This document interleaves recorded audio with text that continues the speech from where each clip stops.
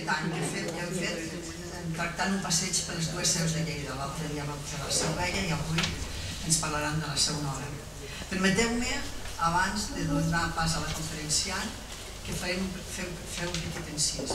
Aquesta conferència que fem avui crec que serà l'últim acte on assistirà el director del museu, com a tal, ja que, com tots sabeu, demà és la data que se jubilarà. Des del cert primer de tot volem desitjar-li desitjar-te felicitat i salut per tu i la teva família, per tal que puguis complir tots els projectes que segur que tens al cap, per aquesta nova etapa de la teva vida i que coneixent-se segur que seran molts i també interessants. Vas arribar al museu l'any 2015 i al cap d'un any, més o menys, el cercle també va començar la seva activitat. Podem dir que pràcticament van néixer amb la teva arribada i la veritat és que ens ho vas posar molt fàcil i ens vas acollir amb els braços oberts. Així doncs, cal dir que des del primer moment hem tingut per la teva part tota la predisposició a satisfer les demandes que t'hem fet en matèria de visites guiades i monogràfiques a la col·lecció del museu o les exposicions temporals. Al mateix temps, t'agraïm que sempre ens has tingut en compte les inauguracions o presentacions d'obres incorporades al museu. Tenim molt present que sempre has tingut la porta del teu despatx oberta per nosaltres i ens has acompanyat a les nostres assemblees i hem tingut un diàleg fàcil i fluid amb tu. També has estat part important i ens has acompanyat en la celebració d'aquestes conferències anuals organitzades pel Centre, obertes a la ciutadania, oferint-nos l'espai i tota la col·laboració pel seu desenvolupament. Per tot plegat, en aquest moment tan important volem donar-te les gràcies de per tot i reiterar-te els nostres millors desitjos en el nou període vital que ara inicies.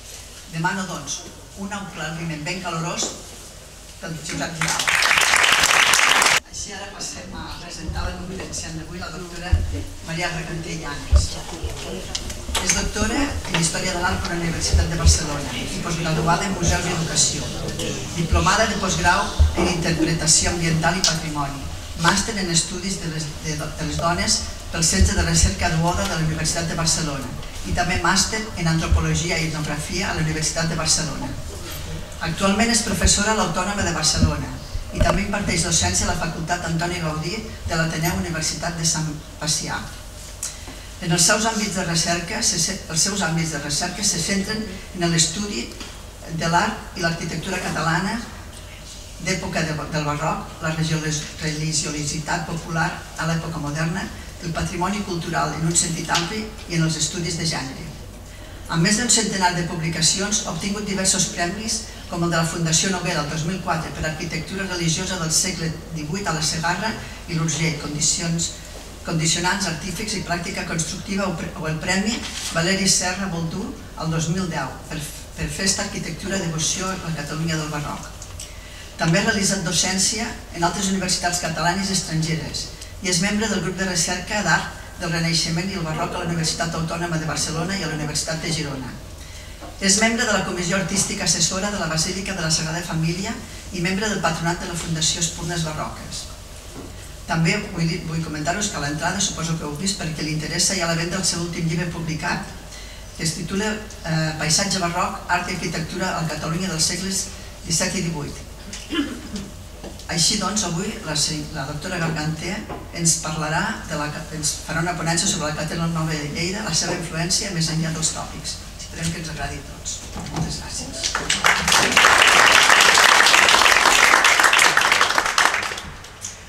Uh, doncs bé, bona tarda. Moltes gràcies, Maita, per la presentació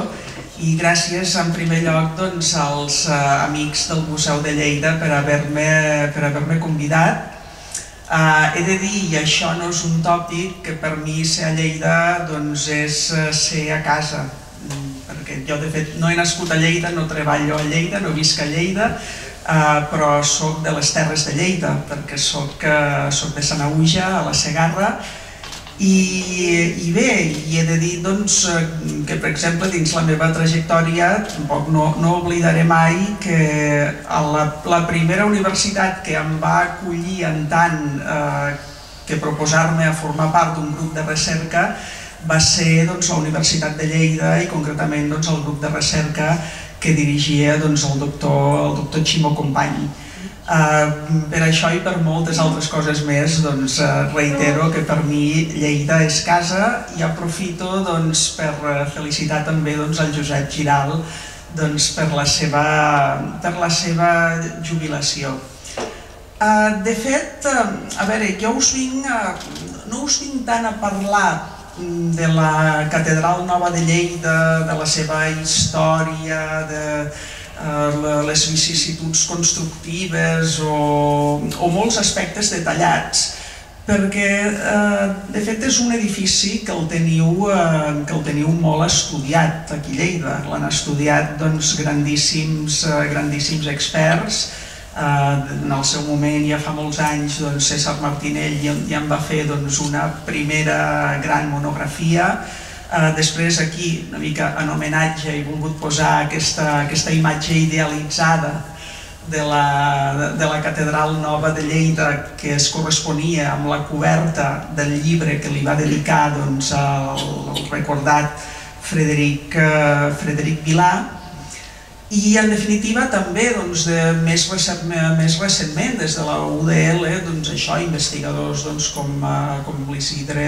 en el seu moment doncs, l'Isidre Puig, uh, l'Ivan Rega i d'altres uh, doncs, han, han estudiat molt detalladament uh, les uh, característiques i les vicissituds de la universitat, ai, perdó, de la universitat, de la,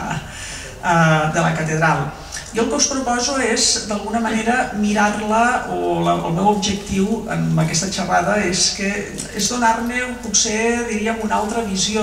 o convidar-vos a que la mirem d'una manera, manera diferent. La catedral i tot el que generarà constructivament doncs, en un territori prou ampli al voltant, eh, al voltant de Lleida. Eh, quan parlo de territori, eh, per això doncs, eh, tot té un significat, per això he posat aquest perfil que, que hi ha aquí sota, que potser molts no, no identificareu, i és el perfil doncs, eh, doncs, d'un poble com, com el Gerri, en aquest, eh, en aquest cas, eh, del qual ja, ja ho comentarem també, eh, doncs, eh, hem engegat, doncs, s'ha engegat el procés doncs, per mirar de declarar l'església eh, l'església barroca i església que enquadrem dins aquest impacte de la catedral, de la catedral nova de Lleida eh, com a bé cultural d'interès eh, nacional. Eh, vinc a parlar de la catedral però vinc a parlar de territori i vinc a parlar doncs, d'alguna manera de la importància d'aquest patrimoni barroc en el, en el territori. Uh, la primera cosa que vinc a reivindicar, de fet, uh, pel que fa doncs, a, el que seria el resum de la ponència, així ja podríeu marxar,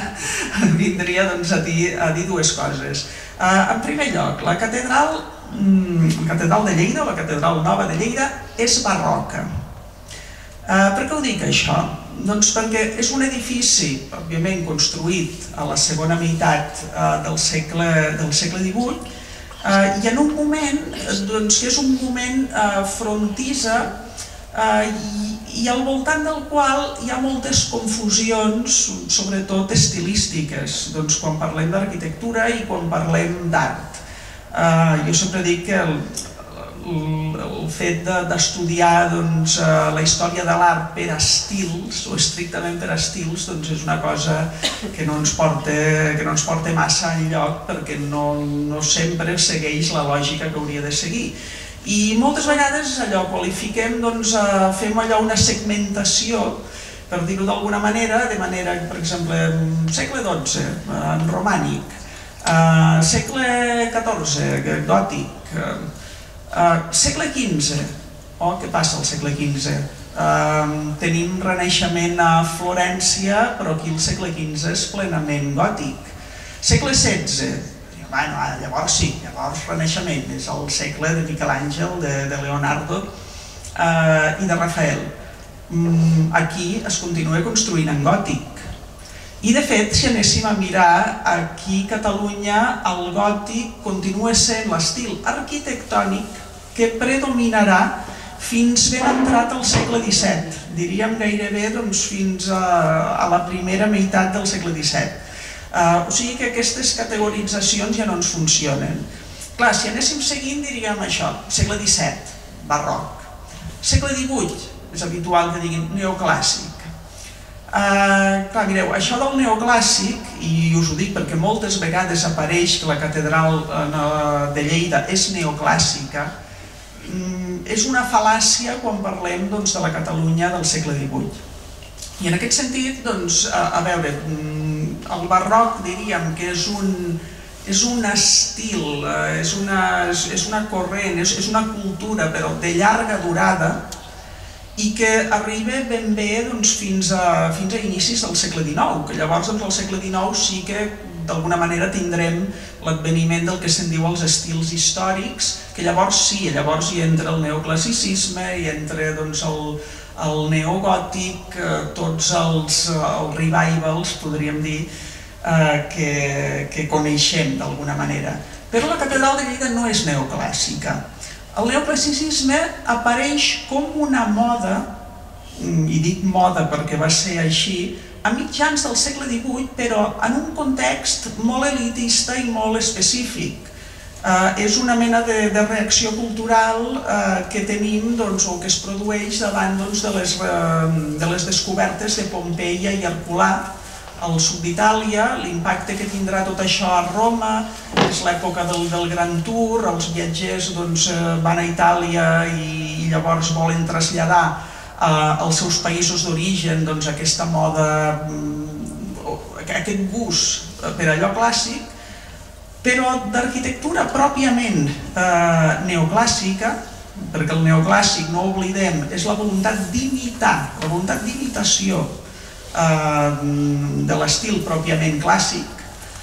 doncs en tenim, en tenim molt poca i no la tenim doncs, ben bé fins al segle, fins al segle XIX. Uh, de fet, això sí que seria neoclàssic. Us he posat aquí tres uh, edificis i un, i un és de Lleida, precisament. Un és de Lleida i és del segle XX. Fixeu-vos, doncs el que va ser eh, el Museu Morera, que el teniu aquí, eh, aquí a la part eh, baixa, Museu, Museu Morera, o Museu eh, de, de Belles Arts, es construeix a principis del segle XX com a edifici neoclàssic en un context noucentista, aquest context noucentista que tornava a mirar cap al món clàssic. Però això sí que és neoclàssic, perquè aquí veiem clarament la, la imitació, la voluntat d'imitació d'un edifici clàssic, com la veiem a l'edifici del que, el que hi ha a, a dalt de tot, que és l'església de la Madeleine de París, una església doncs, del segle XIX, eh, de, principis, eh, de principis del segle XIX, o eh, el que teniu doncs, a l'esquerra, que és el taller del joiers Masriera a Barcelona, un edifici doncs, de, cap a mil, eh, de cap a 1880, doncs, de l'últim quart eh, del segle XIX. El neoclassicisme és això, i és molt específic. Eh, a partir d'aquí doncs, ja entendreu que la, seu, que la seu nova o la catedral nova de Lleida no és neoclàssica, és d'un barroc auster, és d'un barroc, eh, bueno, podríem dir, depurat doncs, en, alguns, en alguns aspectes, i que d'alguna manera sí que rep la influència, o sigui, aquests ecos que us deia de, de, de Pompeia, Herculà, tot això arriba, eh? arriba a l'estat espanyol i especialment a Madrid on es, eh, on es crea a mitjans del segle XVIII l'anomenada Real Acadèmia de Belles Artes de San Fernando,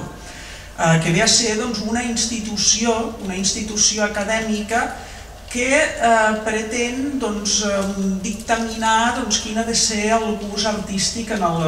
en aquell moment i que d'alguna manera també pretenia acabar amb el que consideraven excessos, o amb el que es considerava doncs, els excessos eh, del barroc. Aquests excessos del barroc eh, es concretaven sobretot amb els retaules, amb els retaules eh, daurats, eh, els retaules eh, policromats, perquè l'arquitectura, i especialment l'arquitectura mm, catalana, sempre ha sigut austera, no ha sigut, eh, no hem tingut berninis ni, ni borrominis, per dir-ho d'alguna manera, eh, però sí que tenim retaules, aquí no us l'he portat, però imagino mm, majoria el coneixereu, retaules com el del Miracle eh, a Riner, que seria doncs, un dels grans eh, exemples eh, conservats, o, o tenim això, la capella dels Colls eh, de, Sant, de, Sant Llorenç, eh, de Sant Llorenç de Morunys, o tants retaules daurats i policromats que eh, adornaven mm, doncs, la major part de les nostres esglésies i la major part dels quals també doncs, van perdre durant, eh, durant, la guerra, durant la guerra civil. Però fixeu-vos que és eh, significatiu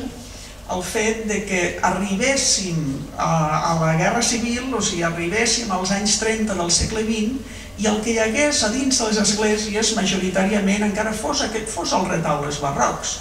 Eh, això vol dir que d'alguna manera eh,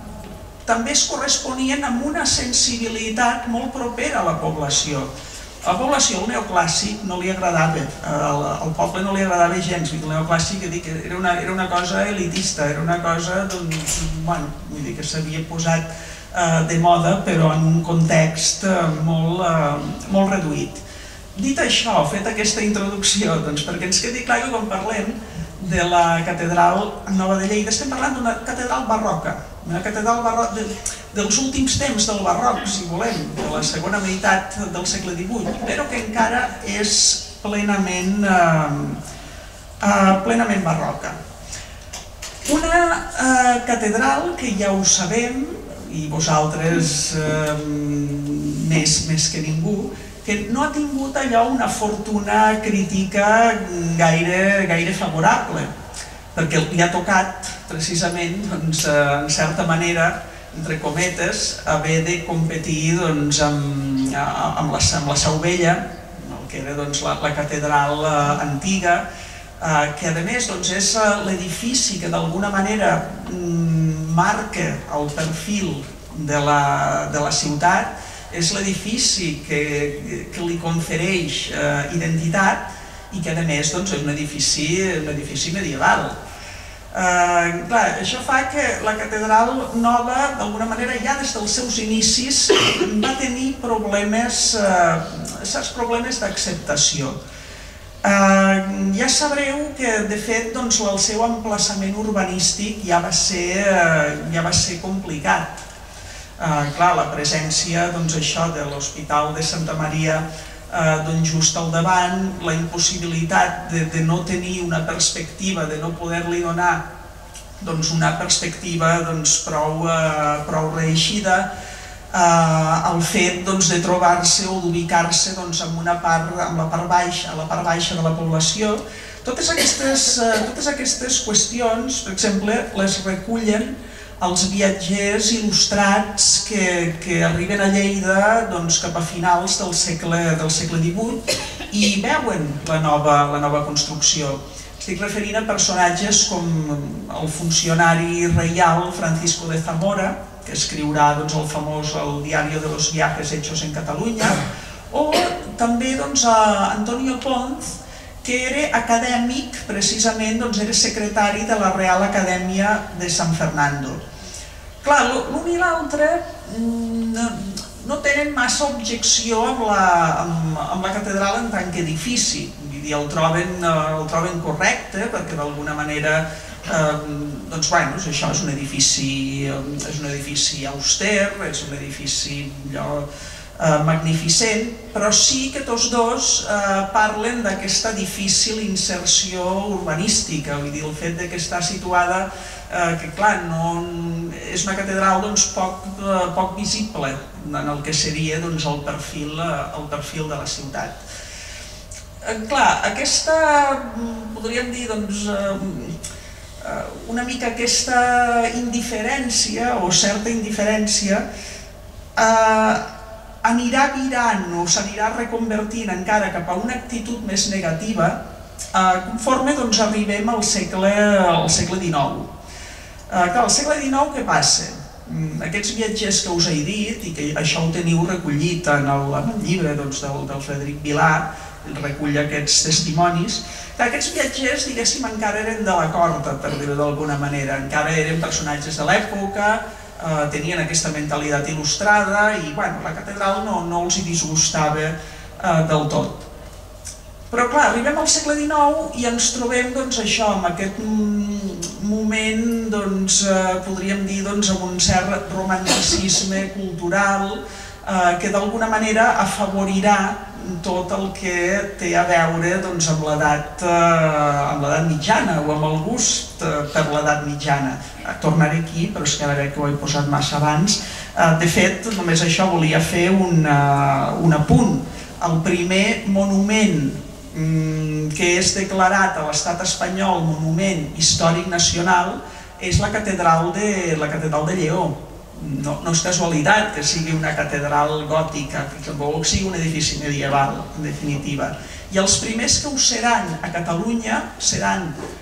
dos edificis de Barcelona, tampoc és casualitat, però dos edificis medievals. La capella de Santàgueda o Santàgata, el, que formava part del conjunt del Palau Reial Major, i l'església i claustre de l'antic monestir de Sant Pau del Camp en aquest cas doncs, un, edifici, eh, un edifici romànic. Estem a l'època doncs, on podríem dir eh, tot moviment cultural reme a favor doncs, de la recuperació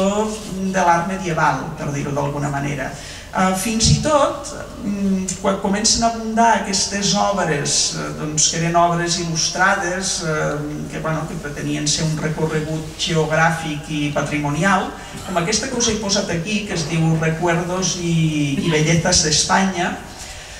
que és, un, bueno, és una sèrie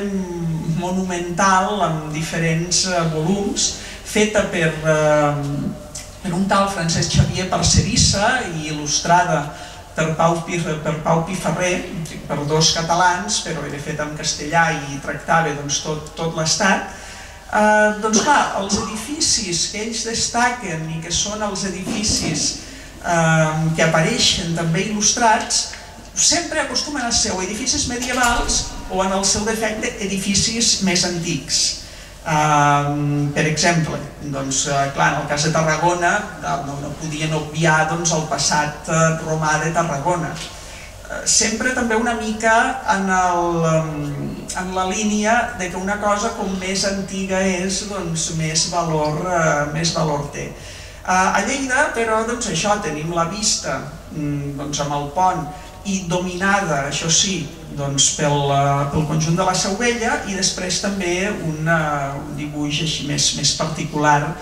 doncs, sobre, sobre la, catedral, la catedral antiga. Eh, en el mateix context i dins la pròpia historiografia lleidatana, tenim doncs, el que s'anomena també l'àlbum històric, pintoresc i monumental de Lleida i sa província, que és una obra doncs, realitzada doncs, això per Josep Pleian eh, de Porta i, i, Frederic, i Frederic Renyer i que ve a ser doncs, això, una mena de primera enciclopèdia, podríem dir, doncs, lleidatana. I aquí us he triat només un, un, un fragment de l'article, per dir-ho d'alguna manera, dedicat a la Catedral Nova que és un article redactat per aquest personatge, per Lluís Roca i, i Florejacs, eh, doncs que és, bueno, podríem dir, doncs, és, és un personatge molt, molt actiu en la vida cultural de la, Lleida, de la Lleida del moment i un dels impulsors de la Renaixença també doncs, en, clau, eh, en clau local, va ser doncs, el que va portar doncs, els Jocs Florals, o la celebració eh, doncs, dels Jocs Florals a la ciutat de Lleida. Fixeu-vos, Renaixença. Eh, on posa el focus la Renaixença? Doncs eh, en l'època medieval també com a bressol eh, i, origen, i origen de la nació. Eh, no, us el llegiré, no us el llegiré tot, però només Clar, per exemple, fixeu-vos, llàstima gran és que quan Barcelona, Tarragona i Girona poden acudir en les grans festivitats de l'Església a les venerandes seus que alçaren durant l'edat mitja els monarques i pròcers catalans i quals parets, torres i capelles són muts i eloqüents testimonis de cristians fets de pietat de nostres avis, d'heroiques accions i, i, i pasmós ardiment en les batalles i d'interès varonil en lluites i en civils discòrdies, Lleida sola, com la ciutat desheretada, hagi de congregar-se en un temple gran i no grandiós que ni té història ni guarda tradició que l'enaltesca. Edificat en època en què la regla matemàtica tenia llei d'inspiració i sents l'aspecte majestuós i severo que mou a l'ànima a meditar en les catedrals gòtiques o bizantines. Uh, clar, Lleida doncs, és, és l'única que no conserva, bueno, que no conserva, la conserva però no en ús, diguéssim, la, la, catedral, la catedral medieval i és aquest plany, no sé dir, que d'alguna manera ens està eh, fent veure que, que clar, per la gent de l'època, mm, en el context del segle XIX, eh, la catedral nova no tenia prou pàtina històrica, era, era, massa, era massa nova. És en l'antiguitat dels segles que d'alguna manera doncs, eh, això també trobem aquesta mística eh, pròpia doncs, que, que ha de, bueno, que d'alguna manera ha de portar l'ànima doncs, a la meditació a la meditació cristiana, segons parafrasejant una mica el que diu, eh, el que diu aquest bon home. Clar, eh, aquestes doncs, són només algunes de, podríem dir, d'alguns dels exemples que corroboren doncs, aquesta,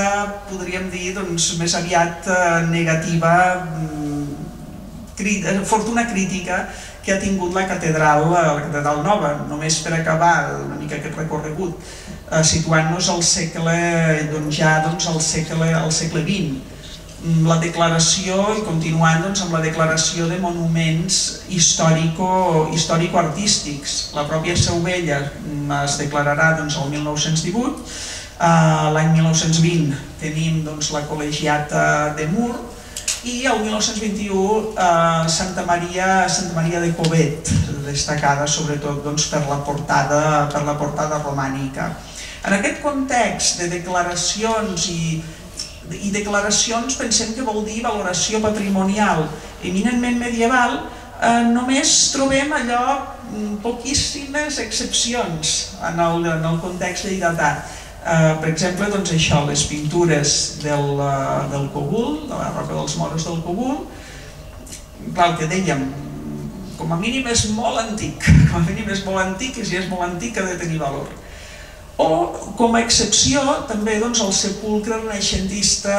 de, de Ramon de Cardona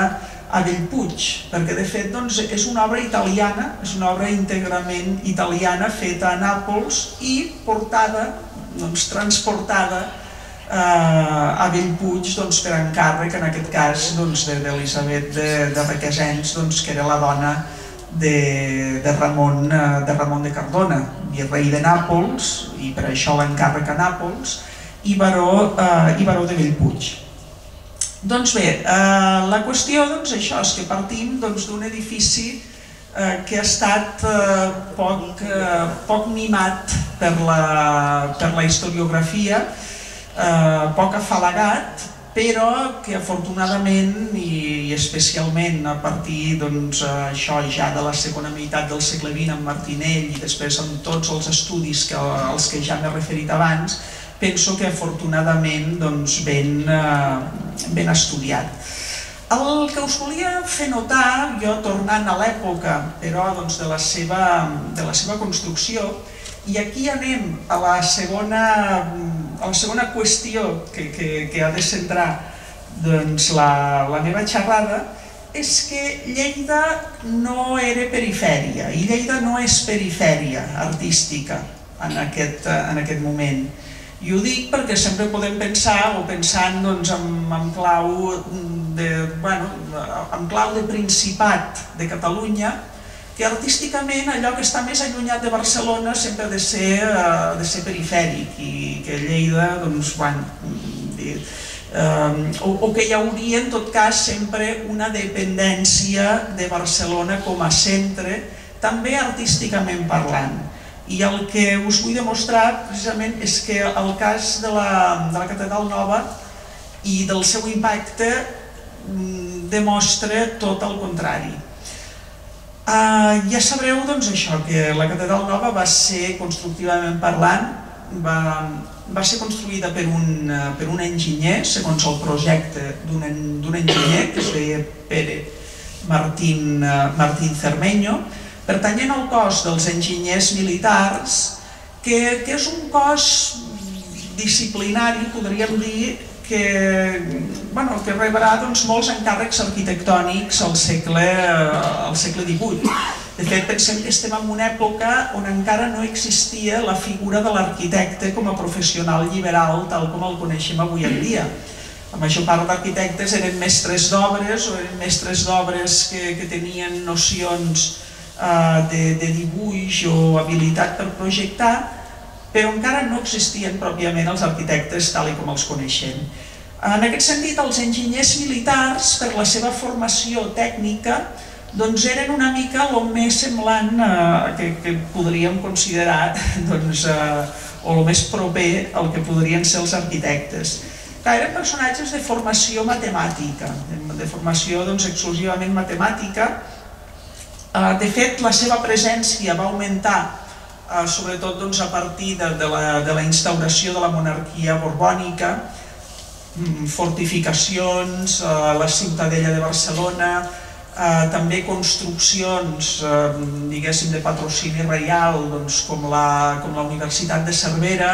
totes elles van anar a càrrec o com a mínim doncs, els seus projectes inicials d'enginyers militars que de primer eren majoritàriament estrangers, o sigui d'origen, sobretot d'origen franco-belga, eh, però que després, a partir de la instauració de, de, la, de la Reial Acadèmia de Matemàtiques, que estava precisament a la Ciutadella de Barcelona, allà doncs, es va començar a formar es van començar a formar doncs, enginyers militars eh, autòctons, enginyers militars eh, propis. És per això que quan arribem a mitjans del segle XVIII doncs, ja contem doncs, amb enginyers militars eh, sortits de l'Acadèmia barcelonina o vinguts d'altres punts, eh, punts de l'Estat. Eh, Pedro Martín Cermeño, de fet, ell sí que venia de projectar doncs, una església a Barcelona, que és aquesta que us he posat aquí a baix. És l'església de Sant Miquel del Port, construïda com a, com a parròquia de la, de la Barceloneta, en un moment en què el barri de la Barceloneta s'havia construït precisament per allotjar eh, doncs bé, a part de la gent que, que, sabia, que havia estat desallotjada per la construcció eh, per la construcció de la ciutadella. I clar, us he posat la imatge perquè sí que hi ha una, una semblança doncs, en el que va ser el primer projecte que es va contemplar per la façana de, de la Catedral Nova de Lleida, sobretot doncs, pel que fa a aquest coronament, aquest coronament central amb frontó triangular, aquesta mena, aquesta mena d'alerons, i que en definitiva a veure, és una forma, és un, és un leitmotiv molt present doncs, en l'arquitectura del barroc eh, ja a partir de la Roma del segle, de finals del segle XVI. Que us he posat aquí aquesta imatge superior a eh, esquerra, eh, ve del tractat de Sebastiano Serlio, d'un tractat d'arquitectura del segle XVI, i els tractats d'arquitectura, com els gravats o les estampes, eren una mica els manuals que feien servir aquests professionals com els enginyers per copiar. O sigui, veien alguna, algun exemple, alguna forma que els agradava, doncs la copiaven. Però ja aquest tractat d'arquitectura en el seu moment ja va donar també moltes altres rèpliques, eh, sense anar més lluny, l'església matriu dels jesuïtes a Roma, l'església del Jesú, una església ja de finals del, del segle XVI, principis del segle XVII, i aquí fins i tot us he posat un exemple d'ultramar, podríem dir, perquè això és la, és la catedral de Bogotà, és la catedral de Bogotà, a, a Colòmbia, llavors doncs, virregnat de, de Nueva Granada, i que va ser projectat en aquest cas per un, eh, per un, per un frare valencià. O sigui que hi ha, hi ha connexions també d'alguna manera amb el que seria l'àmbit eh, cultural dels països catalans. Eh, vull dir que en definitiva mm, doncs, Cermeño proposa un projecte mm, doncs, bastant, bastant estàndard Uh, ja sabreu, però, que no va ser ell l'únic que va presentar propostes per la façana. Per exemple, aquesta que veiem a l'esquerra també és una proposta que es va presentar mm, per la façana de la Catedral Nova i que només sabem que era d'un tal Costa. Tal Costa sense que puguem saber del cert qui era aquest Costa. Uh, alguns pensem que es correspon doncs, amb la figura de Pere Costa. Pere Costa i Cases és un,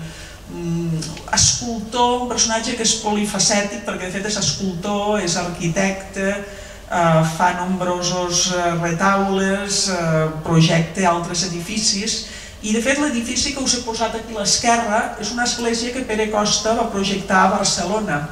eh, que és l'església de Sant Agustí Nou, una església també de patrocini reial perquè Sant Agustí Vell havia estat afectat d'alguna manera per les immediacions de, de la Barceloneta. Eh, jo aquí no es veu massa bé, però penso que a més la traça del dibuix és molt, eh, és molt semblant i jo n'estic segura que aquest projecte per la, per la Seu Nova doncs, era de Pere Costa i eh, fixeu-vos però com a l'església de Sant Agustí Nou, curiosament, aquesta, això és l'únic que, que hi ha d'aquesta església que està al Raval, eh, doncs tenim també doncs, aquesta, aquesta porxada, aquesta porxada doncs, eh, fins i tot amb, amb, més, amb més arcs, però de més petites dimensions, que ens pot semblar, ens pot sonar familiar doncs, pel que fa al que va ser finalment l'execució doncs, de, la façana, de, la, de la façana de la Seu Nova. Però bé, anem a més projectes. Aquest és un altre projecte que també es va presentar. Uh, I és d'un personatge que es diu Francesc Melet, que probablement venia, venia del sud de França, d'Occitània, més, més concretament, i que es va establir bueno, es va establir entre Lleida i Fraga. De fet, eh, tindrà un fill que naixerà a Fraga i el seu fill serà arquitecte i farà, el seu fill farà força obres, sobretot per la, per la, banda, per la banda de Tortosa. Però el que és interessant d'aquesta façana, una façana així més, fixeu-vos, més recarregada, vull dir, més pròpiament, eh, més pròpiament barroca, segons els paràmetres que tenim, que tenim al cap, més que barroca, rococó, fins i tot amb aquesta utilització de les, eh, de les rocalles, eh, que no va ser acceptada, però tot i així Francesc Melet mm, va actuar com a director d'obres, com, a, com a cap d'obra, durant un temps eh, i durant la construcció, durant un temps eh, dins amb grans trets els 20 anys que va durar doncs, la construcció de la catedral. Uh, I de fet, doncs, aquestes influències, uh, podríem dir, doncs, rococós i tan abarrocades, són presents en, en esglésies que podem atribuir tant amb ell o al seu fill uh, a, la zona, a la zona de l'Ebre. Això és l'església de Ginestar, a la, a la Ribera d'Ebre, i fixeu-vos doncs, amb aquesta portada amb aquests elements de rocalla mm, doncs, que, que posen de manifest això, vull dir que el rococó, que és, que es podríem dir una, una derivació molt, de, molt, molt decorativa del, del barroc, també està present en l'arquitectura religiosa o aquesta portada de l'església de la Fatarella. Jo també atribueixo doncs, a Francesc Melet, sigui el pare o sigui, o sigui el fill, en aquest cas, i que en certa manera doncs, mm, porta a la materialitat o porta a la pedra una mica doncs, aquestes divagacions eh, en el dibuix que havia, que havia proposat per Lleida però que a Lleida no es van, eh, no es van realitzar. Alguns detalls d'aquesta portada de la Fatarella i després, doncs, Francesc Melet, fill, en aquest cas sí que sabem que era el fill, que el fill serà mestre d'obres, o serà diguéssim, el mestre encarregat eh, de les obres de la catedral de Tortosa, catedral de Tortosa gòtica, que conserva la fàbrica gòtica, però que construeix façana nova al segle XVIII, no la construeix Melet, però Melet hi fa algunes intervencions. Això és l'església de Batea, una de les esglésies més espectaculars que tenim del, del nostre barroc, Batea a la Terra Alta, i aquí veiem aquestes guixeries de l'interior que també doncs, això són una, eh, com una plasmació, en aquest cas decorativa i en guix, d'aquesta tendència més, eh, més abarrocada o més rococó que proposava, eh, que proposava Francesc Melet. Això doncs, és l'interior de, de, de Batea. I anem a l'última façana, l'últim projecte de façana que us volia ensenyar, que és la de Josep Borria que Josep Corria és un mestre d'obres aragonès. No se sap exactament on, uh, on va néixer, però segurament a la zona de la Franja. Vull dir, seria un mestre d'obres uh, de la Franja que també presenta doncs, això un projecte molt, molt singular doncs, per la Seu Nova, que no s'arribarà tampoc a executar, però Josep Borria també, eh, també es queda treballant doncs, a la Seu Nova durant, eh, durant un temps i farà obres a Lleida i farà obres doncs, amb altres esglésies del, podríem dir, doncs, del, pla, del Pla de Lleida. De fet, aquí us he posat una, una església desapareguda, de, que era l'antiga església de l'ensenyança, o de les monges de l'ensenyança,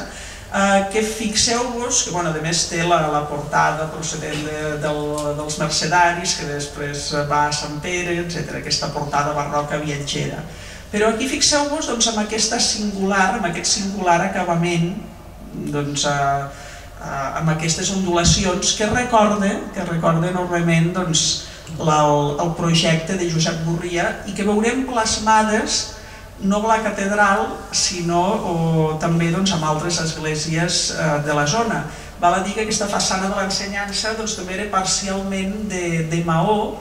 i pensem això, doncs, aquesta tendència a barrejar pedra i maó o a fer molt ús del maó fins i tot en època del barroc eh, és molt aragonesa o, ben, o és molt d'influència aragonesa. Eh, de fet, el propi Josep Borria mm, doncs, farà o ampliarà o intervindrà doncs, amb esglésies també de la franja o, o bueno, vull dir, de tota aquesta zona com l'església de Binèfar, que fixeu-vos, era una església gòtica que ell simplement amplia, i amplia doncs, cap, a les dues, cap a les dues bandes. O sigui, la barroquitza l'església, on fa una ampliació barroca, però sense destruir el que seria doncs, la, nau, eh, la nau central gòtica. Mm, aquesta també doncs, és, una, és una altra església no construïda directament per Josep Borria, però jo no, no descarto que en fes el, el projecte o intervingués en el projecte. És l'església del Guaire, una església que va, ser, va, va quedar molt afectada durant la Guerra Civil i a diferència d'altres que van ser reconstruïdes, doncs aquesta va, bueno, va quedar allò molt... Ja, ja avui en dia en queda potser un terç de façana i a l'interior es va reconstruir amb maó i bueno, és una cosa molt, molt, eh, molt estranya. Però aquí veiem doncs, una fotografia anterior a la Guerra Civil on veiem també aquest coronament, aquest tipus de coronament tan singular i que és un tipus de coronament que no trobem eh, en, en altres llocs més enllà doncs, de la zona del Pla de Lleida en altres llocs de, de, la, geografia, de la geografia catalana. Eh, tornant doncs, momentàniament a la,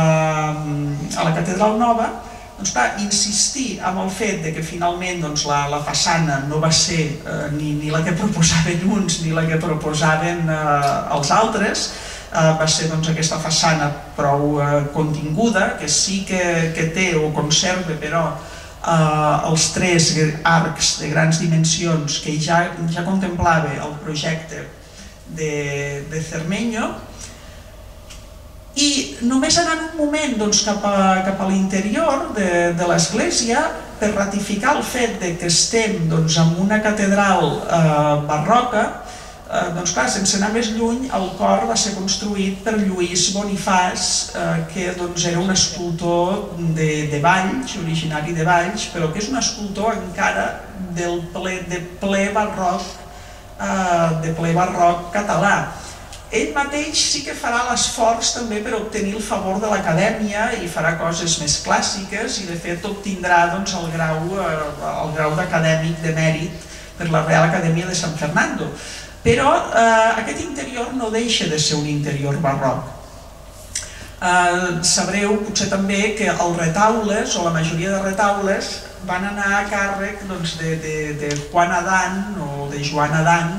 eh, doncs, un escultor doncs, també eh, d'origen aragonès, un escultor acadèmic i que d'alguna manera doncs, clar, havia d'imprimir doncs, aquest segell més classicista, aquest segell doncs, més, uh, més acadèmic a l'interior doncs, de, la, de la catedral. Uh, tot i així, doncs, d'entre els retaules, només us he posat aquí dos,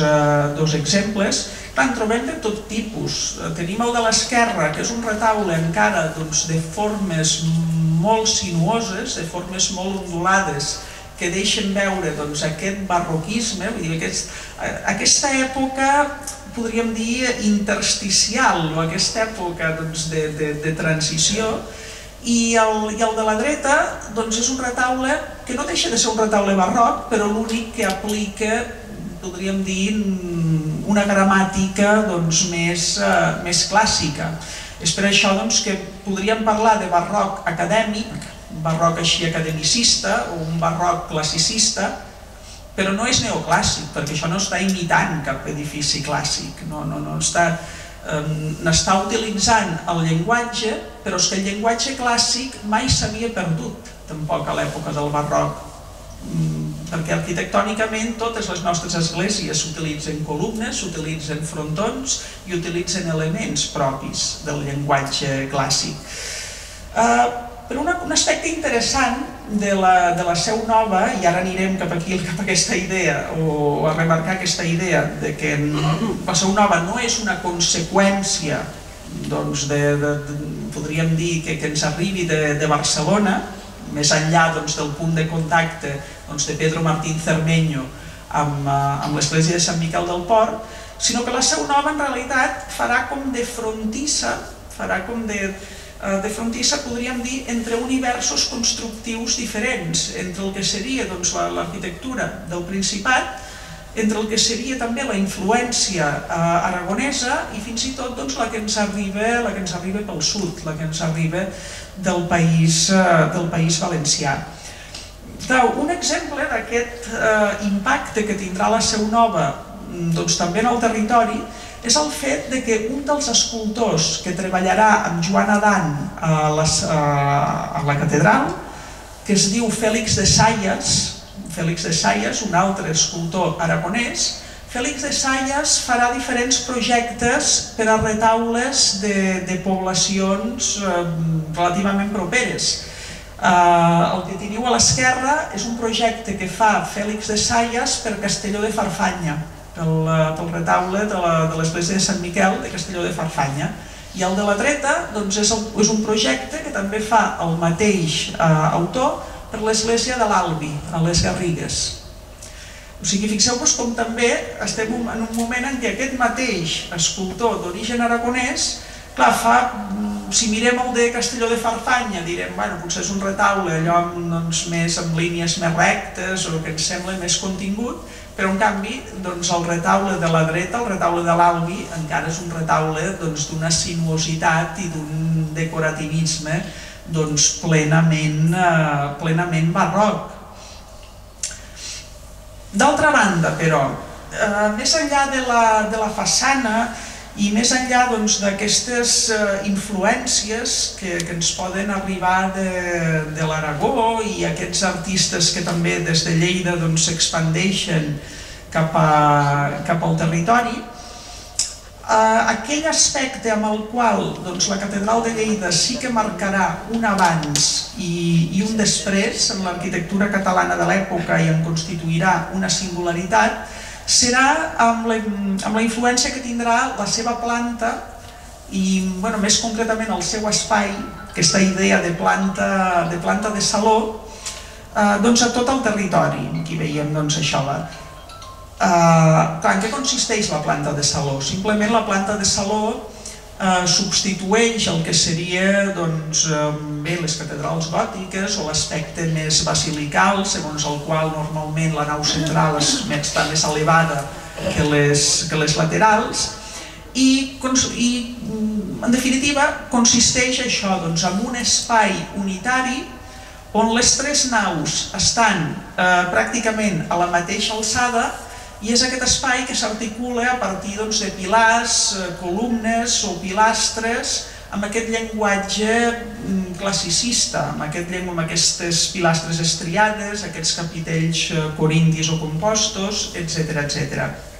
Aquest tipus d'espai eh, generarà allò com un reguer de, de pólvora, podríem dir, doncs, eh, un seguit d'esglésies molt singulars a tot, eh, a tot el territori. També tindrà un impacte més enllà del territori més immediat. Uh, per exemple, la catedral de Vic. La catedral de Vic és posterior a la, a la, a la catedral de Lleida i és una catedral que jo tinc la teoria que pretén copiar exactament doncs, l'interior de, la, de, la, de la de Lleida. De fet, la catedral de Vic primer eh, és una catedral romànica i que conserva una cripta, tot i que en aquell moment estava tapada, eh, conserva doncs, també un campanar i havia de ser en principi una catedral mm, bueno, eh, que s'havia de reformar, a la qual se li havia d'afegir només una nau però aprofitant de que és un moment en el que es mor el bisbe, es mor el bisbe Artalejo, doncs serà el capítol de la catedral que decideix modificar tot el projecte que havia fet ell i construir una catedral, eh, una catedral nova. I és una catedral mm, doncs, que veu de l'impacte, pensem que Lleida, la catedral de Lleida es consagra, em sembla, el 1782, la catedral de Vic es comença el 1784, o sigui que eh, clar, Lleida era l'edifici de moda, per dir-ho d'alguna manera. Clar, però d'on venia aquest espai o d'on ve eh, l'adopció d'aquest espai? Mm, tenim edificis precedents amb, eh, bueno, amb petites, podríem dir, a, a més petita escala, que ens poden donar una idea. Mm, S'acabava de fer a Cervera, la, dins en el que seria el context de la universitat, bueno, la capella o paraninf de la universitat, eh, aquest edifici doncs, amb una doble funció i que també d'alguna manera adoptava aquest espai doncs, de tres naus eh, amb, a la mateixa alçada, aquest espai diàfan eh, amb planta de saló, que Pedro Martín Cermeño havia utilitzat a l'església de Sant Miquel del Port, però l'havia utilitzat a petita escala, i de fet a Barcelona sí que també hi ha un edifici més antic que té una disposició molt semblant,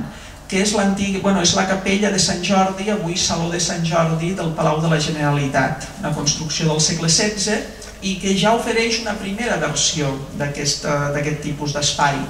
però que no va, eh, no va més enllà. Eh, també pensem que la de Sant Miquel del Port doncs, és una construcció massa petita com per tenir tanta influència. La de Cervera, la, la capella de Cervera, és un esglau més, és una, podríem dir, doncs, un, exemple, un exemple més. Però la que marca la diferència i la que d'alguna manera mm, ja mm, doncs, eh, eh, inicia, insisteixo, doncs, aquest, eh, aquest regue de pólvora que, que s'expandirà per tot el territori és la catedral eh, de Lleida. D'on venia aquest espai de la catedral de Lleida? Només de Cervera o només de Sant Miquel del Port? Hem de mirar també cap a l'altra banda. Eh, a l'Aragó s'havien construït edificis de, de molta envergadura eh,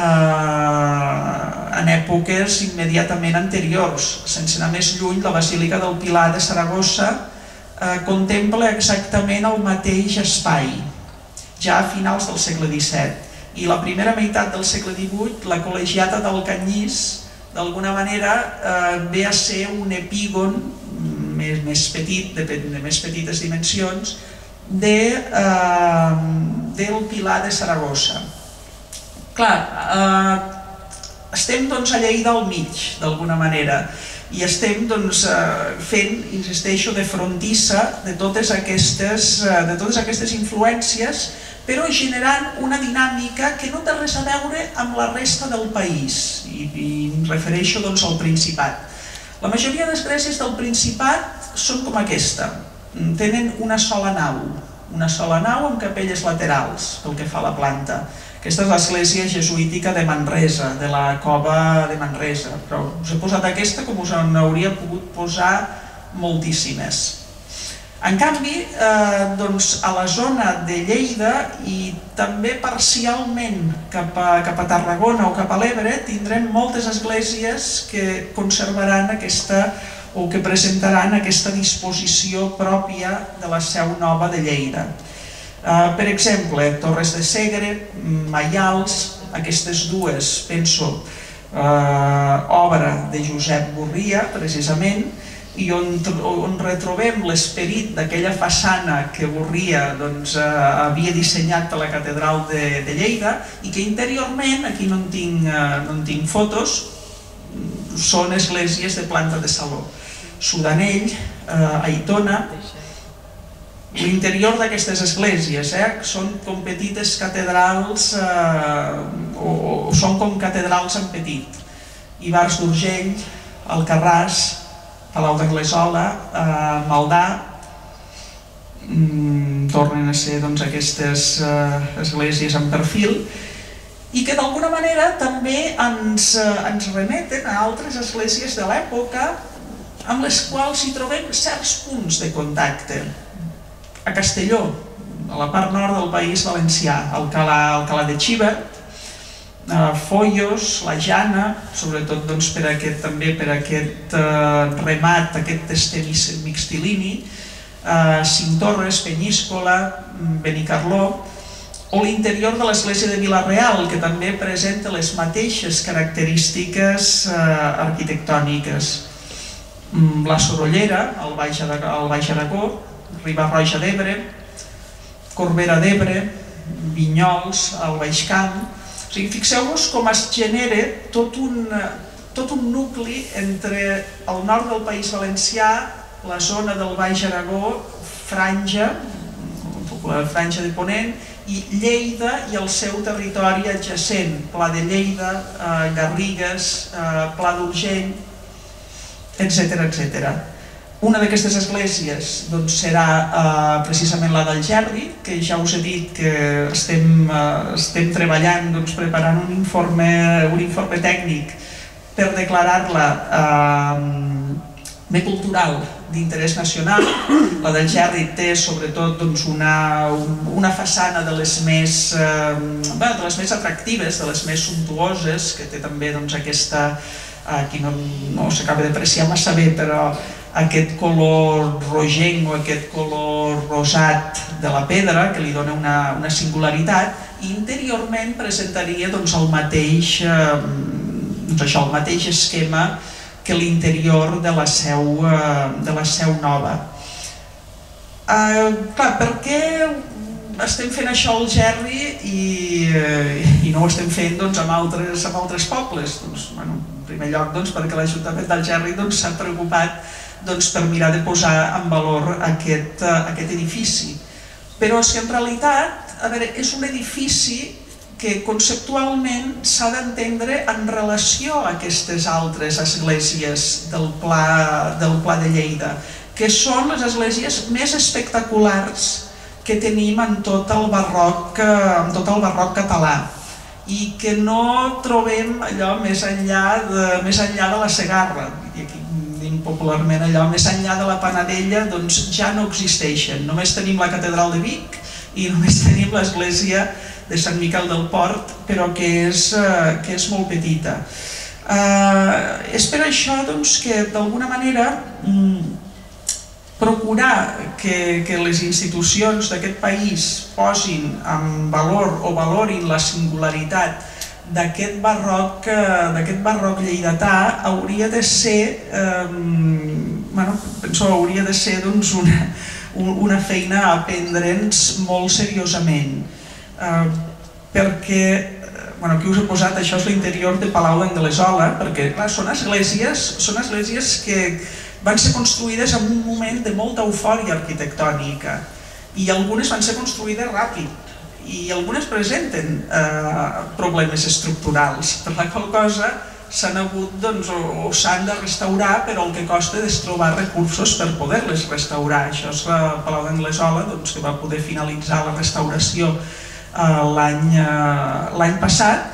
però a més són esglésies que d'alguna manera eh, constitueixen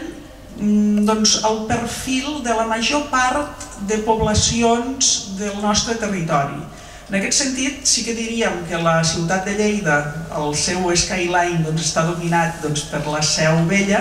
però en canvi, si ens n'anem a voltar doncs, per altres pobles, aquí us he posat un poble de les Garrigues, que són els Omellons, eh, Almenar, amb el seu eh, esbeltíssim campanar, Maials, eh, Batea, doncs, ja a la Terra Alta, o també doncs, el Gerri, l'església, el perfil de l'església, el perfil del campanar, doncs és el que eh, dona rellevància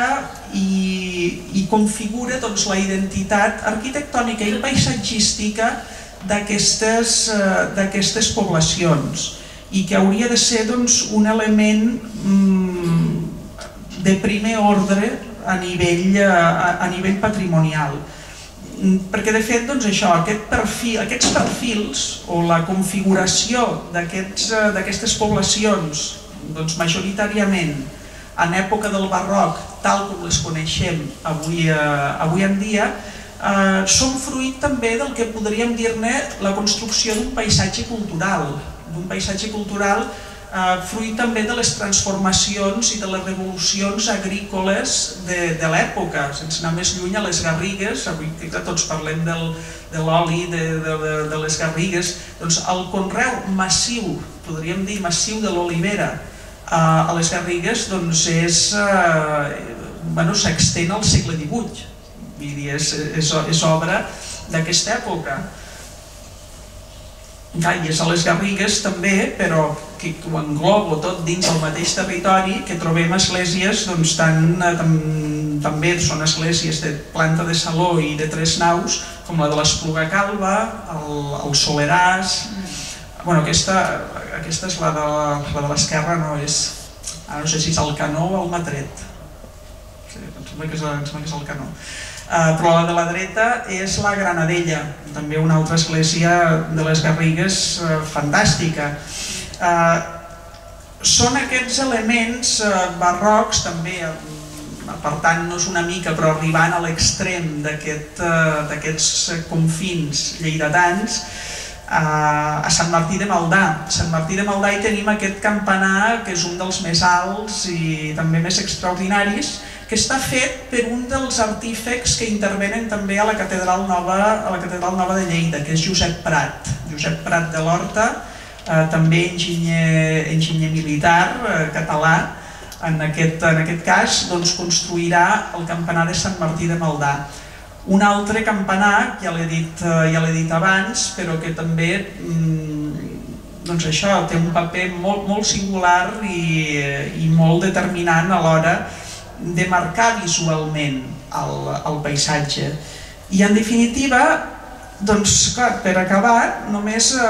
una mica com a comprovació d'aquesta tesi que, que us deia, de que estem davant doncs, d'un doncs, grup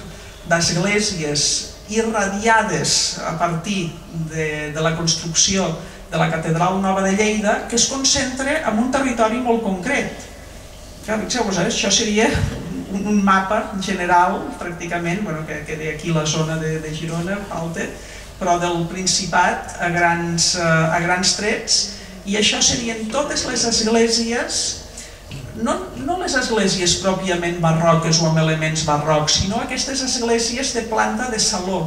que us he dit que fixeu-vos que la resta del territori són inexistents les tenim totes concentrades, aquestes que estan més a la dreta, això és la Segarra, això és el, el, meu, el meu territori, per dir d'alguna manera. Uh, a Segarra les tenim a la Segarra històrica, Rocafort de Queral, uh, a Granyena de Segarra i a Guissona, serien aquestes, aquestes tres. I finalment ja en tenim algunes només a les terres, a les terres de l'Ebre, Batea, la Terra Alta, eh, Tivenys, prop de Tortosa, o aquí a Tarragona, Alforja i, eh, i Vinyols. Però està clar doncs, que penso que, que podem reivindicar clarament doncs, en aquest cas una centralitat lleidatana, sigui, Lleida no és perifèria, doncs, a l'hora de parlar de, la, de les esglésies o de l'arquitectura religiosa més espectacular eh, del país que ens dona identitat, eh, que mm, posa en valor doncs, el patrimoni i, en definitiva, el territori. Moltes gràcies.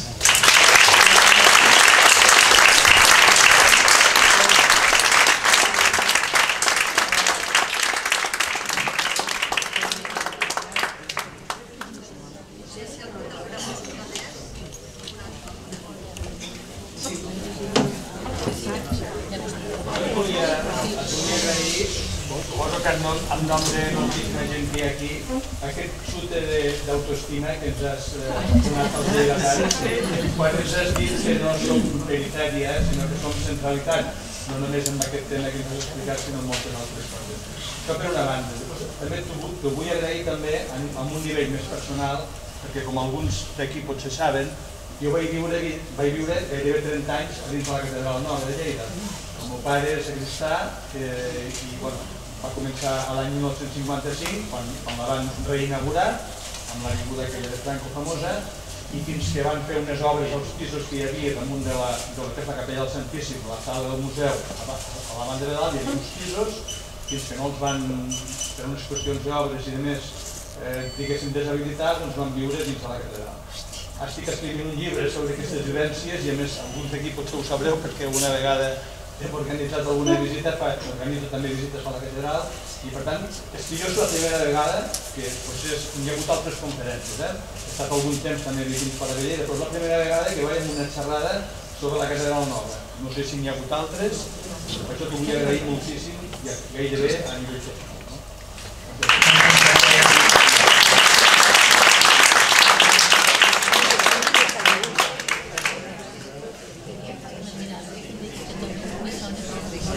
Eh, moltes gràcies, no, només volia dir moltes gràcies i molt inter serà molt interessant el llibre, el llibre que dius. Uh, de fet, a veure, no he dit perquè no em volia extendre, extendre més, uh, però clar, parlo molt seriosament doncs, a nivell que, que penso que caldria promoure des de, no sé, des de les institucions eh, lleidatanes o a nivell de diputació o de consells comarcals o no sé com s'hauria com s'hauria de fer, dic, per anar més enllà de la, també de, de, la Generalitat. Uh, fer una ruta, vull dir, es, pod es podria fer doncs, una ruta de les esglésies barroques de, de Lleida, però que fos una ruta... A veure, no només en el sentit turístic de dir esperar que la gent vingui de fora a veure, a veure les esglésies, que les podrien venir a veure, eh? perquè coses més irrellevants doncs anem a veure si estan ben publicitades, això per, eh, això per començar. Mm, però que penso que els primers que ens ho hem de començar a creure som, eh, som els propis d'aquí i que d'alguna manera eh, l'èxit de qualsevol cosa comença per una comunitat eh, empoderada, que en dirien, eh, que en dirien. I és, doncs bé, és, és aquest orgull de,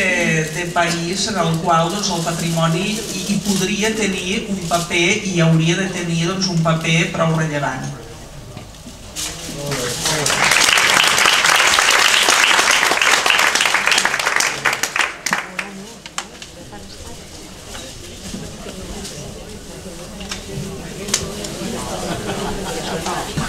tot això només no, no m'havien recordat, ja, ja, ja ha dit la Maite, que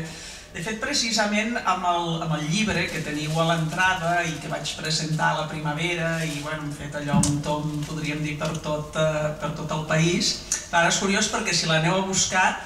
és un llibre que hi ha menys fotos de les que hauríem volgut que hi hagi i direu, i diureu eh, que aquesta xiqueta ens ha vingut a fer una xerrada de la Catedral Nova i no hi ha foto de la Catedral Nova. És cert, no hi ha foto de la Catedral Nova però hi ha foto d'altres esglésies del, del territori. I és un llibre que precisament pretén una mica descentralitzar aquesta idea de l'art eh, català com si tot hagués de sortir de, de Barcelona o hagués de sortir allò de les comarques de la Catalunya, de la Catalunya central. Uh, I parlo força de la, podríem dir, dels territoris, uh,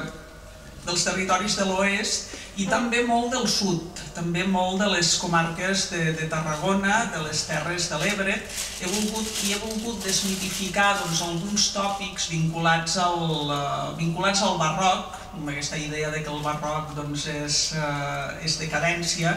no, no podia haver-hi gaire... La decadència no podia ser tan gran si, si, els, si els pobles tenien l'impuls de construir doncs, aquests, uh, aquests edificis. Uh, I a vegades doncs, el fet de que també identifiquem, uh, no sé, si pensem en un monestir, sempre pensem que tots els monestirs són medievals, uh, però en canvi ja poso uh, la cartoixa d'Escaladell com un monestir barroc. I bé, vull dir, en definitiva, això és un llibre divulgatiu sobre barroc català en un sentit, uh, en un sentit ampli, però que també doncs, això pretén d'alguna manera mm, desmitificar doncs, alguns, eh, alguns aspectes i sobretot descentralitzar-ne uns altres. Gràcies.